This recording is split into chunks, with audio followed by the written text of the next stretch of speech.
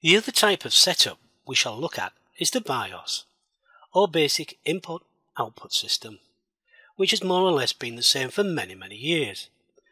There has been some different versions of it, but possibly the best known is the AMI BIOS.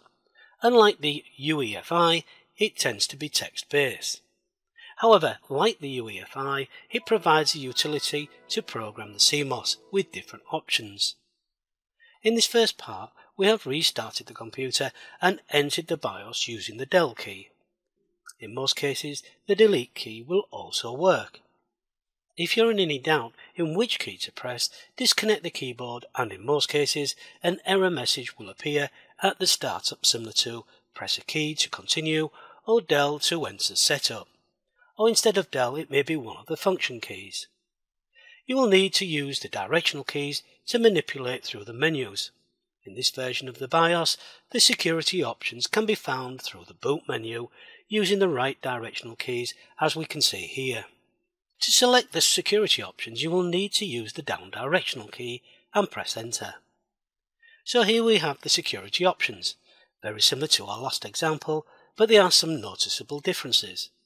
First we shall select the supervisory password by pressing enter since it is highlighted, and we shall be prompted to enter a password. Just to keep things simple, we shall choose the numbers 1234. Once again, it can be up to 16 characters long. You will then be prompted to confirm the password. Notice that the supervisory password is now set. By pressing the F10 key, then enter, since yes is highlighted and the password will be saved and we shall exit.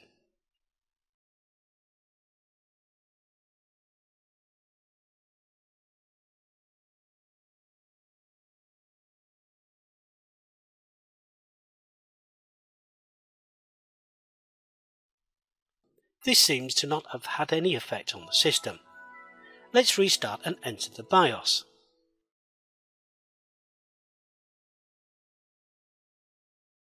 We are prompted for a password. So when the supervisory password is set, it only restricts the user from entering the BIOS. The other difference here is that we can make numerous attempts and the system will not lock us out. But neither will it allow the user access to the BIOS without the correct password. Now let's see what the difference is when entering the user password. So this is selected and we enter a password of 5678 and confirm it. Then press the F10 key to save and exit.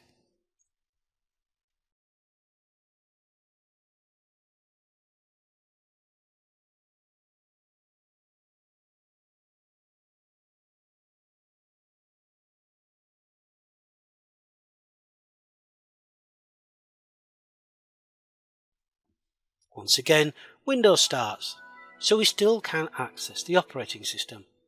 Let's restart it once more, type in the supervisory password and enter the BIOS. After entering the supervisory password, select security options again. Notice the last option, password check. Using the down directional key we can select this and press enter. Setup refers to the BIOS and system to the operating system.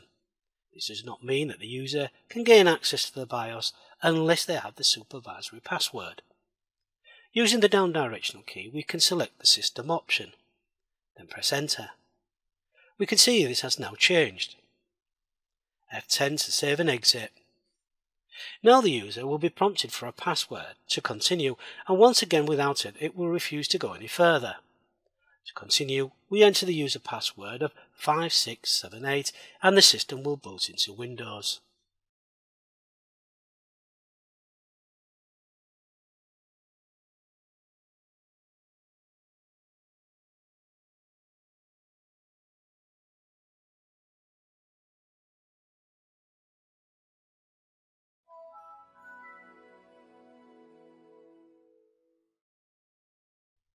To access the BIOS, the user password of 5678 will need entering first, then the supervisory password of 1234 will have to be entered. To remove the password, select the password options again. Press enter when the supervisory password is highlighted, leaving it blank. Notice how both the supervisory and user password options are now cleared. Press F10 to save and exit.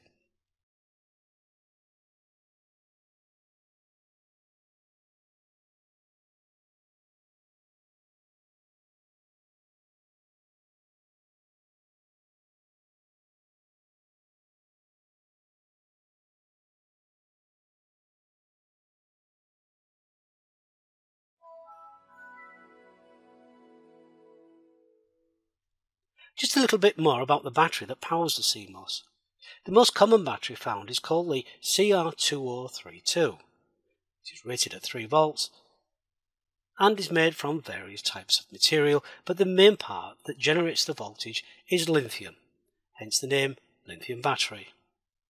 The size is about 19mm by 3.1mm and can be found in many devices such as watches to key fobs.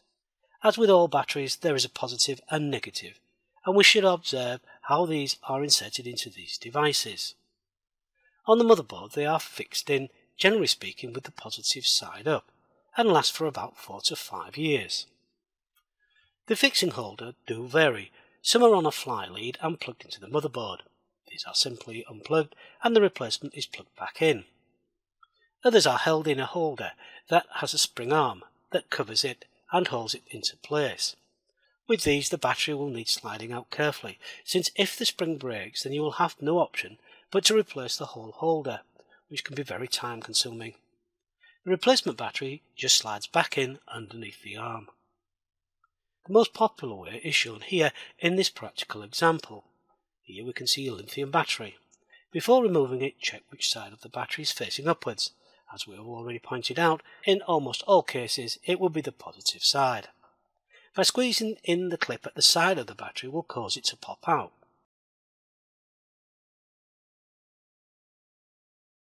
To replace it, simply slide the battery in at an angle and press into position.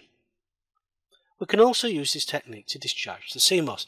Remember the CMOS is only temporary memory, so we'll remove the battery, then the time, date, boot up sequence and passwords would be removed, and so the CMOS will have to be reprogrammed. Finally, on some motherboards, there are only two pins to discharge the CMOS, so the normal setting would be open as shown here and closed to discharge the CMOS. We could close the setting using a spare jumper, or if one is not at hand, you can short the two pins together using a suitable metal object such as the end of a screwdriver. If we find that the CMOS requires reprogramming on a regular basis or the date reverts back to the date of manufacturer, then this is a good indication of a discharged or faulty battery.